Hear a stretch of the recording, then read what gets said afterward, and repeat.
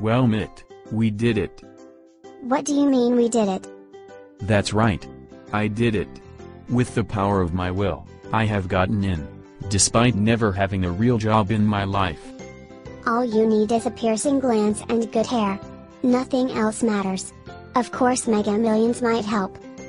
I don't care about the American people. Did you know that? I know that, and of course neither do I. Now, shall we start planning? I'm putting three hotels immediately on Boardwalk. You can't do that. You have to put houses first, and you still have to get Park Place. Even though no one wants Park Place. Let's start out with Medicare.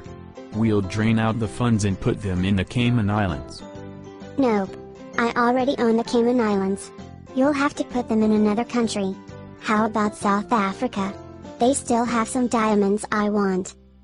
Okay. You play with South Africa, and I'm taking over all the banks.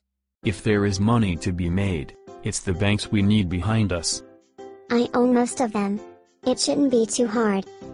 Can you turn your head adorably to the camera when you speak? Hey. I'm in charge. Have you forgotten that? My hair is as good as yours. You remember that. And my eyes are bluer. Listen, we just have to get into office and then we can have a beauty contest. Did you know I have on a red Speedo?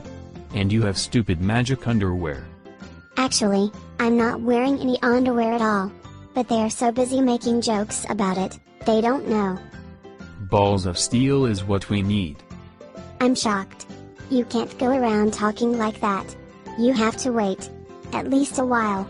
You know we can't go on praising Ayn Rand. After all she was a woman. Ayn Rand had balls of steel. But don't worry. I took back that I like Ayn Rand, and that I patterned my philosophy on the ideas of a Russian housewife turned actress and writer. Well, she was a woman, and we can't have that. No women.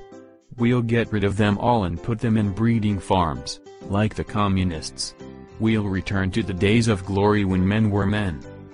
You can't say that. It makes us look like we are what we are. We're supermen. We are in control. All women will have 12 children and then will be killed. I don't know if that's a good idea to let out. We won't let it out. But, we'll keep it as a goal. It's always good to have a plan. I don't want to sit on your lap when we give our acceptance speech. Sure Mitt. Anything you want Mitt. This is going to be great. Let's bring back thousand dollar bills so my face can be on them. My face.